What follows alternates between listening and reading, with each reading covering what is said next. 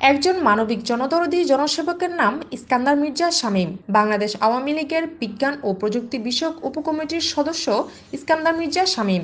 প্রধানমন্ত্রী জননেত্রী শেখ হাসিনা ও জননেতা ওবায়দুল কাদের এমপির পক্ষ থেকে লক্ষ্মীপুর জেলার সংসদীয় আসন চারে রামগতি ও কমলনগর উপজেলার উপকূলীয় অঞ্চলে শীতার্ত মানুষের মাঝে নয়টি স্পটে শীতবস্ত্র বিতরণ করে ব্যাপক আলোচিত হয়েছেন স্থানীয়দের মাঝে।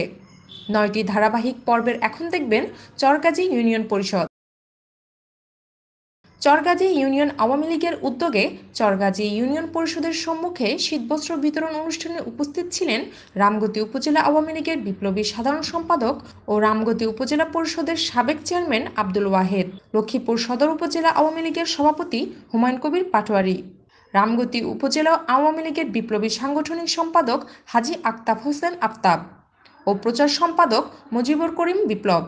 লক্ষ্মীপুর জেলা পরিষদের সদস্য মোহাম্মদ আলমগীর, মামুন বিন জাকারিয়া, চরগাজী ইউনিয়ন পরিষদের চেয়ারম্যান তাহিদুল ইসলাম সুমন ও panel chairman Nasir Uddin. Chargazi union Awami লীগের সাধারণ সম্পাদক রুহুল আমিন।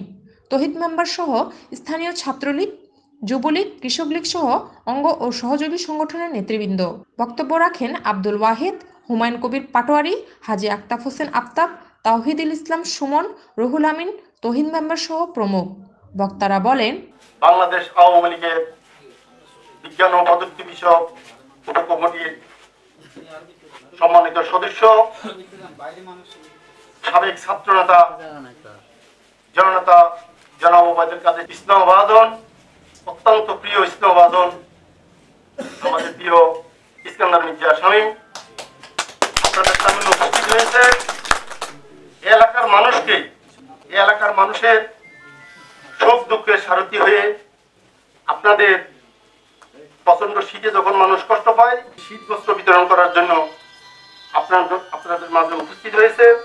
এই পিছিয়ে পড়া রামগতিবাসীকে আমরা উন্নত বাংলাদেশ উপহার দেওয়ার জন্য জননেত্রী শেখ হাসিনার আগামী দিনের যে ভিশন সেই ভিশনকে আমরা সফলতা রূপদান করার জন্য আমরা একজন ওনার কর্মী হিসাবে আমরা কাজ করে যাচ্ছি। কাজ করে যাব। সেই দৃষ্টিভঙ্গি থেকে আগামী দিনে বাংলাদেশের যেই নির্বাচন আসতেছে, সেই নির্বাচন হবে অনেক প্রতিযুদ্ধপূর্ণ নির্বাচন। সেই পূর্ণ নির্বাচন হবে গণতান্ত্রিক নির্বাচন। সেই নির্বাচনে আমাদের নৌকামার্কা প্রার্থীকে বিজয়ী করার জন্য আমরা সবাই ঐক্যবদ্ধভাবে কাজ করতে হবে। সেই জন্য সেই উদ্দেশ্যে আমাদের জননেতা জনাব ওবায়দুল কাদের সাহেবের অত্যন্ত ঘনিষ্ঠজন প্রিয় ভাজন, আমাদের ইস্কান্দার মির্জা শামীম, আপনাদের মাঝে এসেছেন এই পিছিয়ে পড়া রামগুতিবাসীকে এই পিছিয়ে পড়া রামগুতি কমনগরের মানুষকে সঠিক স্বপ্ন দেখানোর জন্য বর্তমানে আমাদের যে সংসদ সদস্য আছেন, উনি জোট থেকে আমাদের এখানে আসছেন। উনি আওয়ামী লীগের নেতা কর্মীদের পার্স করছেন গত পাঁচ বছর চার বছর সাড়ে চার বছর জননেত্রী শেখ হাসিনা যে উন্নয়নের এখানে কাজ করেছেন, বরাদ্দ দিয়েছেন, প্রতিটি বরাদ্দ ওনার। এখানে দলীয় নেতা কর্মীদের মধ্যে বিলি হয় নাই, বন্টন হয় নাই। রামগুদি কমলনগরে সর্বক্ষেত্রে আপনার প্রচণ্ড রকমের আমাদের নেতা কর্মীদের মাঝে খুব বিরাজ করতেছে। আমরা বিভিন্ন সময় বিভিন্ন বিভিন্ন মানুষের কুৎসিত ফাঁদে ফা দিয়ে আমরা আমাদের দলের ক্ষতি করি। চিন্তা মির্জা শামীম, আমরা একই স্কুলে পড়ালেখা করেছি। উনি রামগতি হাই স্কুলের ছাত্র ছিলেন। ওনার বাবা রামগতি আহমদি কলেজের প্রতিষ্ঠাতা প্রিন্সিপাল ছিলেন।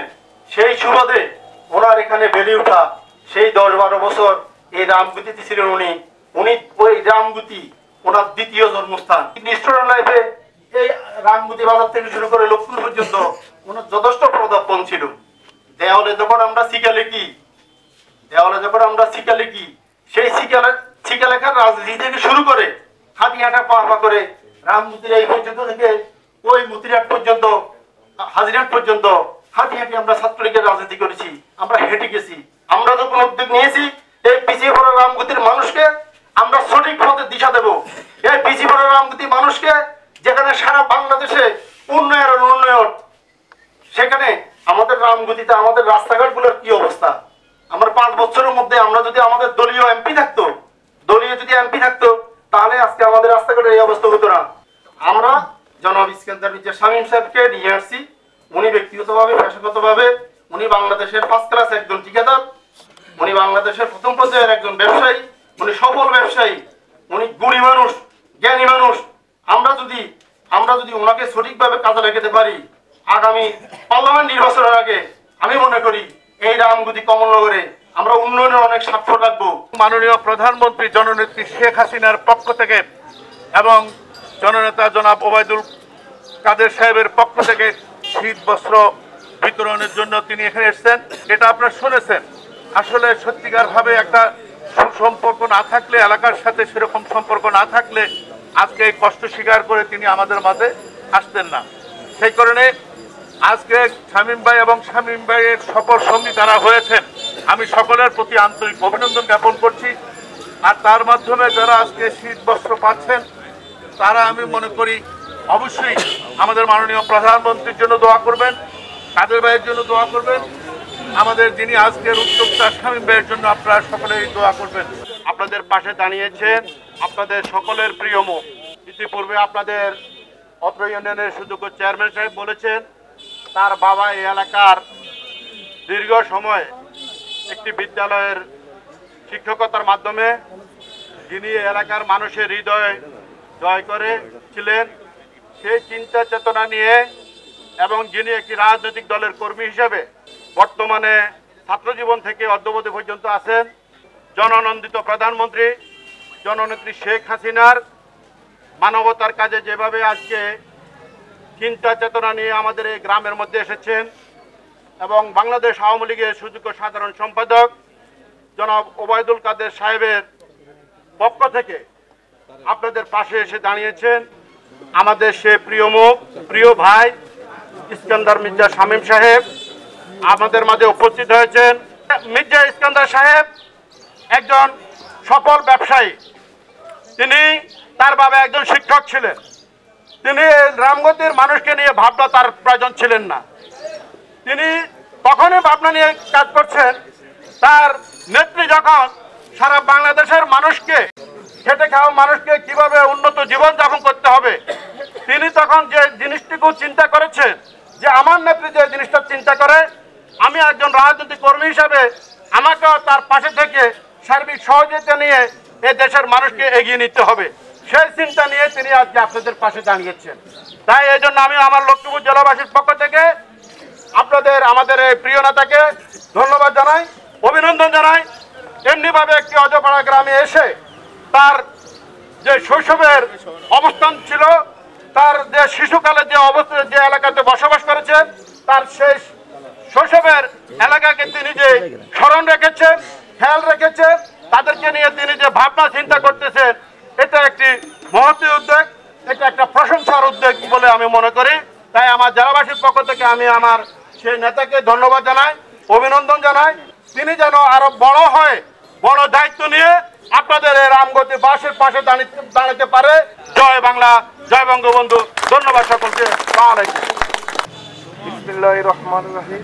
আমার শৈশব ও কৈশোরের পবিত্র ভূমি। এখান থেকে ছোটবেলার একটি শিশু হাঁটি হাঁটি পা পা করে বড় হয়ে আপনাদের মায়া, মমতা নিয়ে, আদরের স্নেহ, ভালোবাসা নিয়ে এখানকার শিক্ষকদের শাসন এবং আদরের আদর নিয়ে আমি এই আমুদিকে হাই স্কুলের থেকে মেট্রিক পাস করে আজকে আমি সেই ঢাকা শহরের বিশ্ববিদ্যালয়ে পড়ালেখা করে মাস্টার ডিগ্রি পাস করেছি। সেই প্রিয় পবিত্র ভূমির প্রতি এসে আজকে আমি শ্রদ্ধা সিদ্ধ আমি স্মরণ করছি। আজকে আমাদের হাজারো বছরের শ্রেষ্ঠ বাঙালি, আমাদের জাতি জনক বঙ্গবন্ধু শেখ মুজিবুর রহমানকে এই রামপতি কমলনগর বা এই রামপতি বাজারে অনেক স্মৃতি বিজড়িত আছে। আমি আজকে যেসব দোকান এখানে হয়েছে, এগুলো আগে কখনো ছিল না। আমরা এখানে বড় বিষয়ে আমরা এখানে বসে আড্ডা দিতাম। অনেক ধরনের স্মৃতি আছে। বাজারে আমরা মিষ্টি মিষ্টি খেতাম। এখানে একটা চা দোকান আছিল। তখন টেলিভিশন অ্যাভেলেবেল ছিল না। আমরা সত্যমিতে একটা চলচ্চিত্রের ছবি নিয়ে আমি মনে হয় দশ থেকে পনেরো বার আমরা দেখেছি। তো ওখানে বসলে কিছু খাওয়া লাগতো। চা দোকান ছিল এই পাশে। তো সেখানে আমরা অনেক সময়কে কেটেছি। আমরা যে নদী ভাঙ্গার যে আজকে নদীটা সব বিলীন হয়ে গেছে, এই নদী পারে আমরা সেখানে ঘুরতাম, আমরা নৌকাতে উঠতাম, মাছ ধরতাম, তার বয়ে বয়ে চড়ে দিতাম আল্লাহকে রহমতে আমি ভালো আছি। আল্লাহ আমাকে যে শক্তি, সামর্থ্য দিয়েছে, আমি ঢাকা শহরে বসে চিন্তা করেছি। আসলে আমার যে স্মৃতি বিজড়িত যে এলাকা, যে এলাকার সাথে আমার আজকে আমি উদ্ধার আজকে আমি বড় হয়েছি। আজকে একটু ওই নদী ভাঙ্গা মানুষের পাশে, ওখানে জেলে কৃষক, শ্রমিক যারা আছে শ্রমজীবী মানুষ যারা আছে, তাদের পাশে আমি একটু আমার দায়বদ্ধ থেকে আমি একটু আসি। সেই জন্য আজকে আমি ছুটে আসলাম। আরও আগে আসলাম আমার আসলে দরকার ছিল। এর মাঝে আমি একদিন স্কুলে যে আমাদের প্রোগ্রাম হয়েছিল, সেই সময় আমি এসেছিলাম। তো আমি আজ থেকে ছোট একটি আমাদের মাননীয় প্রধানমন্ত্রী জননেত্রী শেখ হাসিনা এবং আমাদের জননেতা জনাব এমপির পক্ষ থেকে আমি আপনাদেরকে কিছু শীত বস্ত্র বিতরণ করার জন্য এসেছি। জননেত্রী শেখ হাসিনা বিভিন্ন ধরনের বাতা প্রদান করছেন, বিভিন্ন বিভিন্ন ধরনের সুবিধা দিচ্ছেন এবং অনেক নারীরা আছেন যে নারীর ক্ষমতায়ন এখন বাংলাদেশের বিশ্বের মধ্যে সর্বোচ্চ পর্যায়ে নারীর ক্ষমতায়ন তিনি সৃষ্টি হচ্ছেন। এখানে ওনারাই উপস্থিত আছেন। আমি সবাইকে সশ্রদ্ধ সালাম আসসালামু আলাইকুম, আমি হিন্দু ভাইদের প্রতি আদর জানাচ্ছি। আমি মনে করি বাংলাদেশের ওয়াটার বোর্ডের পানি বোর্ডের সবচেয়ে বড় প্রকল্প যেটা আছে, সেটা এই রামগুতিতে আছে।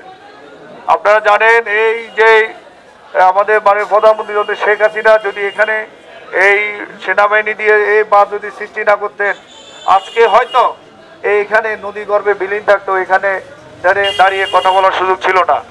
আজকে প্রায় বত্রিশশো কোটি টাকার প্রকল্প আজকে কমলনগর বা লক্ষ্মীপুর সীমানা পর্যন্ত যেখানে ভাঙতেছে, সেখানে এই প্রকল্প বাস্তবায়নের কাজ চলছে। বাংলাদেশে ওয়াটার বোর্ডে এত বড় প্রকল্প বর্তমানে নেই। তো আমরা সেই দিক থেকে আমরা মনে করি প্রধানমন্ত্রীর জন্য আমরা দোয়া করব। আপনারা জানেন ইতিমধ্যে বাংলাদেশের অনেক অনেক অনেক বড় প্রকল্প আছে। আপনারা বলেন পদ্মা সেতু আপনার মেট্রোরেল যার যার অবস্থান থেকে আমরা সর্বাত্মকভাবে, ঐক্যবদ্ধভাবে আমরা এই এলাকার উন্নয়নে আমরা যেন শরিক হইতে পারি। এখানে আমাদের রাজনীতির, এখানে সেবা করতে কোনো রাজনীতির প্রয়োজন না। সেবার মানসিকতা নিয়ে আমরা এখানে এখানে আমরা রাজনীতি করব। এখানে আমরা আপনাদের সবার পাশে দাঁড়াবো, ঘরে ঘরে যাব এবং যাদের সুবিধা আছে, অসুবিধা আছে, তাদের কাছে যে আমরা দাঁড়িয়ে আপনাদের কথা শুনে আমরা আপনাদের যে কোনো বিপদ আপদে যেন আমরা কাজ করতে পারি, সেভাবে আমরা আগামী ইনশাল্লাহ।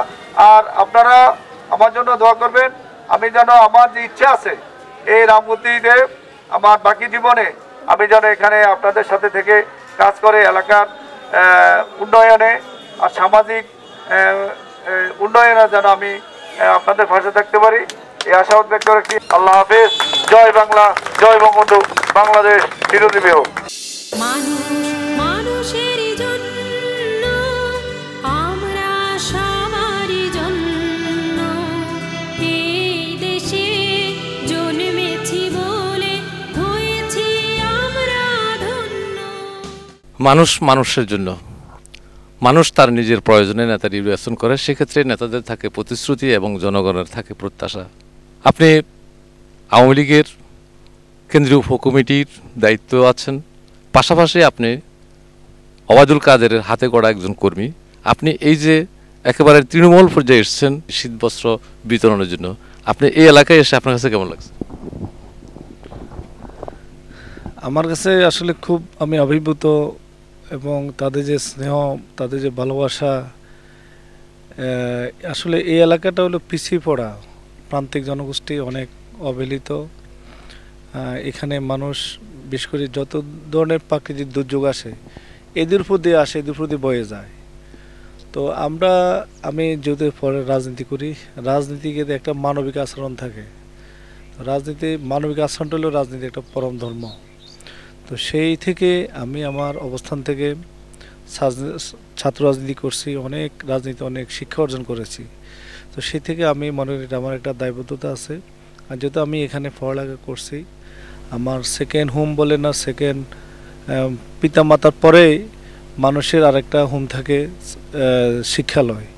তো আমার তো শৈশব কিশোর এখান থেকে আর সেখান থেকে আমি মেট্রিক পাস করেছি।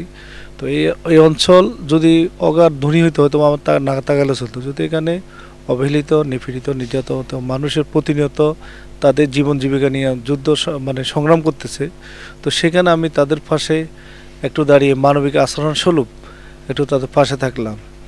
এই থেকে এসে সিদ্ধার্থ দের মাঝে বস্ত্র বিতরণ করতে আসছে, তাদের যেভাবে উৎসাহ উদ্দীপনা দেখছি।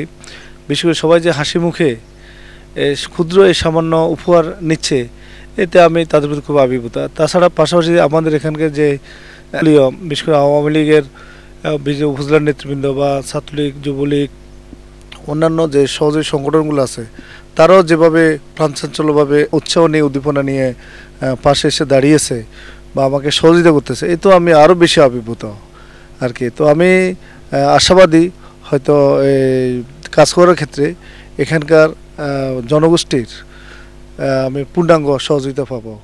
এই ধরনের আমার বিশ্বাস। মানুষ, মানুষের